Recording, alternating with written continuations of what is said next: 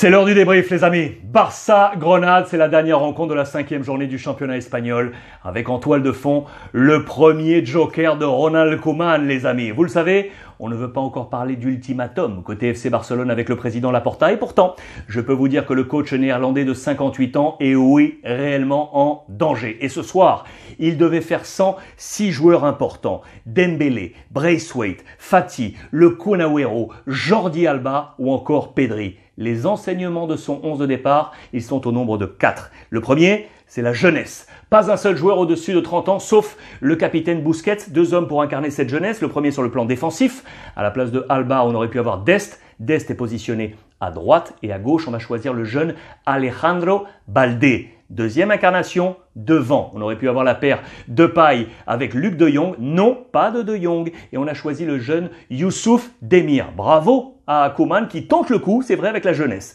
Deuxième enseignement, c'est Coutinho.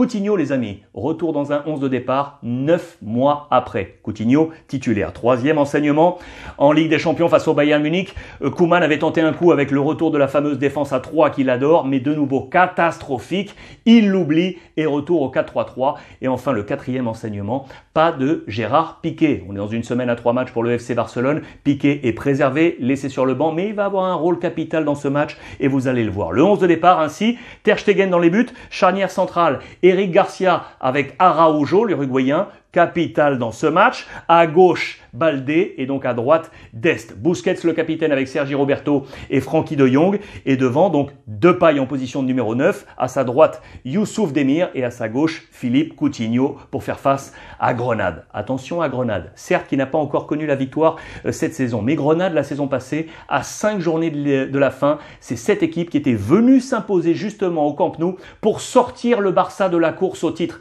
C'est vrai que depuis, Grenade n'a pas connu la moindre victoire. Sur les derniers matchs de l'exercice passé et les quatre premiers de cette saison, aucune victoire. Un changement d'entraîneur et vous le connaissez, c'est Robert Moreno, l'ancien de l'AS Monaco, qui pour ce match ce soir a procédé à huit changements par rapport à la dernière sortie. C'était une défaite face au Betis Séville. Max Gonalon est notamment laissé sur le banc. Il entrera en jeu dans la deuxième période. Ce match va démarrer tambour battant, les amis. Une minute trente. Une minute trente et un coup de boule de Duarte qui va refroidir le Camp Nou, qui était déjà très très froid. Il a plu abondamment à une heure du coup d'envoi, très froid à Barcelone, et du coup là, tout le monde va être absolument gelé. La Bronca qui va sortir avec Kuman, les bras croisés, et la Piqué va se positionner comme un deuxième coach, une sorte d'adjoint à la Bielsa. Il va s'asseoir sur la euh, cantinière comme ça, euh, tranquillement euh, installé sur la glacière, pardon, et aux côtés de Ronald Koeman pour agir comme un véritable, comme un véritable coach. Mais écoutez bien, le Barça sur les cinq matchs cette saison, toutes compétitions confondues, a d'ores et déjà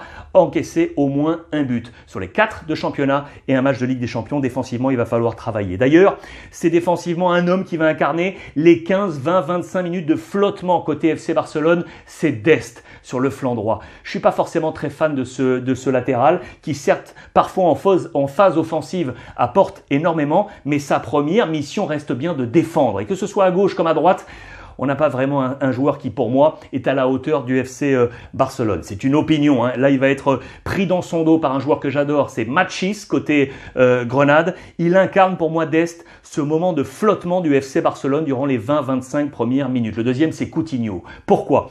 Parce que Coutinho, son poste préférentiel, c'est celui qu'on appelle de media punta en Espagne, ce milieu de terrain axial offensif. Mais au Barça, dans l'ADN Barça, ce poste n'existe pas tactiquement. Et du coup, il est exilé à gauche ou à droite. Et là, il n'est pas à 100%. Je pense que Coutinho au Barça, cela ne marchera jamais. Là aussi, ce n'est que mon avis. Il faut donc attendre 15-20 minutes pour avoir des phases offensives du Barça. Sur coup de pied arrêté, notamment sur corner. Et il faut attendre la 18e minute pour avoir la première frappe sur le montant, sur le poteau de Sergi Roberto. 18 minutes pour la première frappe. Alors écoutez bien, si vous faites le cumul des 90 face au Bayern où on avait eu un zéro pointé au nombre de frappes du Barça et ces 18 minutes, en tout, plus de 100 minutes sans frappe côté FC Barcelone. Ça semble incroyable et pourtant la réalité des chiffres est là. La première mi-temps va passer comme un souffle avec ce moment de flottement. Il faut attendre vraiment les 5 dernières minutes de cette première mi-temps pour avoir une agitation. La première, elle est malheureuse pour le jeune Baldé qui va être blessé et là c'est Minguesa qui va rentrer en jeu. Vous vous souvenez de Minguesa, ce défenseur euh, central avec la, queue de cheval qui avait été important la saison passée et qui euh, malheureusement pour lui au mois d'avril avait reçu une bronca énorme de Ronald Koeman dans un match face à Getafe que le Barça va remporter 5-2, mais où Getafe était revenu à 3 buts à 2. Il avait accusé euh, quasiment publiquement Minguesa de cette défaille, de cette euh, faille, de cette défaillance côté défense du FC Barcelone. Il a été ostracisé. Le voici de retour. À voir s'il regagne des points peut-être dans les plans de Ronald Koeman. Ça c'est à la 42e minute et puis 3 minutes plus tard, juste avant la pause, la voilà enfin la grosse occasion pour le FC Barcelone. C'est une tête de Araujo, le défenseur central uruguayen que j'adore. Très sincèrement, pour moi, c'est la bonne nouvelle de ces derniers mois avec Depay euh, côté FC Barcelone. En fin d'exercice passé, il avait été très très bon défensivement. Là, il est en train de s'imposer. Ça y est, peut-être comme l'un des hommes euh, forts du futur du FC Barcelone. Ça veut dire quoi? Ça veut dire qu'au bout de la mi-temps, à 45 minutes, on est à 1 à 0 en faveur de Grenade, les amis. C'est passé à une vitesse absolue. Les enseignements de ces 45 premières minutes, Coutinho, fantomatique. Il n'est pas apparu. Trois frappes côté euh, FC Barcelone cadré, deux côté euh, Grenade. Et puis pour moi, peut-être le MVP de ces 45 premières minutes, eh bien c'est Araujo. Euh, avec cette tête notamment pour la grosse occasion du, du Barça. Piqué, lui, va haranguer ses troupes durant toute cette première mi-temps. Également dans le couloir qui va mener à la deuxième période. Et puis on va le voir s'échauffer. Tiens, tiens, on va le voir commencer à s'échauffer à la mi-temps. Kouman va procéder à un premier changement à la 46e avec l'entrée en jeu de Luc de Jong. Il va sortir un milieu terrain Sergi Roberto pour tenter de partir à l'abordage et revenir euh, sur euh, Grenade. Et puis là, les, occasions vont s'enchaîner. Grenade va se recroqueviller et les occasions du Barça vont commencer à s'enchaîner. Avec Araujo, de nouveau, à la 56e.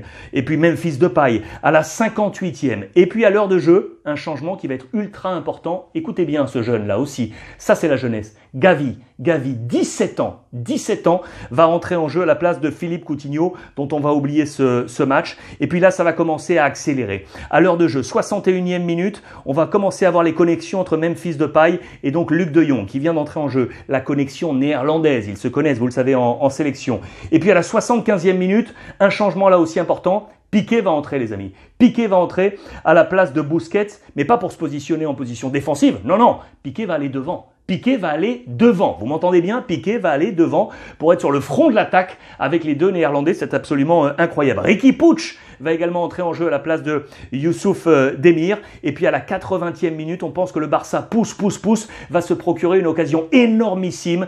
Luc de Jong, au milieu de la surface, va avoir une occasion qui semble immanquable, qui semble immanquable. Et là, le cadre fuit le néerlandais. On se dit que Grenade va finir, va ainsi finir par s'imposer et connaître sa première victoire et infliger la première défaite au Barça. Eh bien non. À l'ultime seconde, à l'ultime seconde, qui va inscrire le but de l'égalisation? Eh bien, c'est Araujo, les amis. Araujo, comme depuis le début de ce match, qui avait été euh, étincelant, c'est lui qui va marquer sur une passe de qui? Eh bien, du jeune Gavi. Voilà la nouveauté. Voilà peut-être le futur du, du Barça. Égalisation à l'ultime seconde. Le Barça continue sans défaite. Grenade continue sans victoire. Statu quo, un but partout. Ce soir au, au Camp Nou, les enseignements pour moi, les amis, le MVP sera Araujo. Uruguayo, Uruguayo, uruguayen, uruguayen, va descendre des travées de, de l'antre barcelonais. Ce chant qui était avant euh, uniquement dédié pour euh, Luis Suarez, là c'est pour Araujo, qui est pour moi le, MVP. Et puis euh, vous dire quoi? Que ça va être long. Ça va être long d'après moi pour le, pour le Barça. La jeunesse est là. C'est vrai, il y a des joueurs qui ne sont pas d'après moi à la hauteur du, de ce club, le FC Barcelone. Mais les jeunes sont là. Mais il va falloir être patient pour le FC Barcelone. Voilà pour le débrief, les amis. À très vite.